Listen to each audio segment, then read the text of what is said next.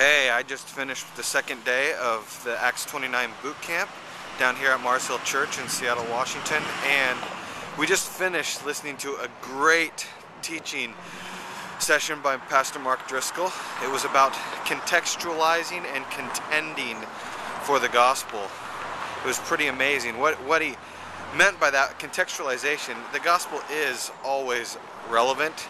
So it's not about changing the gospel to fit into culture. It's about utilizing the things in culture to show how Jesus is relevant. So some things we reject, some things are redeemable. And um, contending, you know, we need to know where our boundaries lie.